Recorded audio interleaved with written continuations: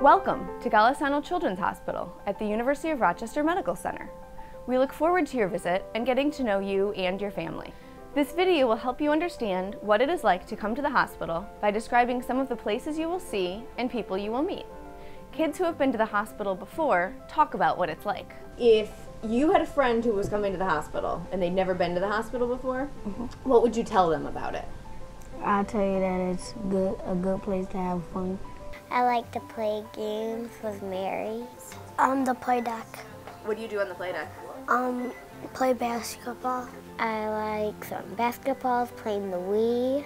One of the nurses came up to me today and like, I didn't think they knew my name, but they were like, oh, hey, Laura. I'm like, oh, that's nice. So does anyone ever come visit you and bring you food?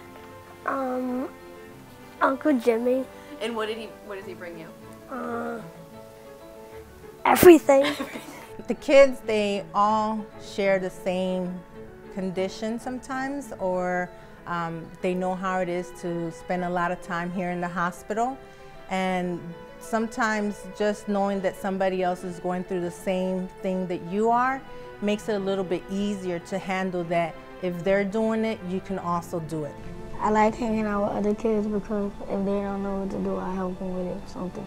well, I get to play with people and that. What's your favorite part about going to the hospital? My doctors and nurses. What do you like about them?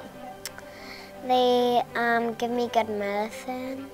They like check my blood pressure and like take my temperature.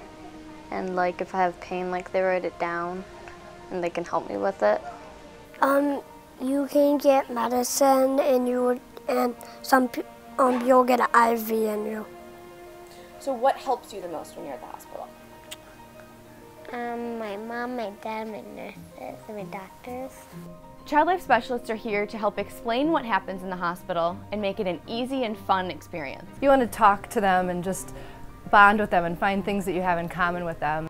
I love working with kids and I actually changed my career to work with kids because I love kids so much. There's a lot of stuff to do here and there's like so many nice people that keep you happy and care that you're like doing stuff, not just like waiting for your IV to be done or your like medicine.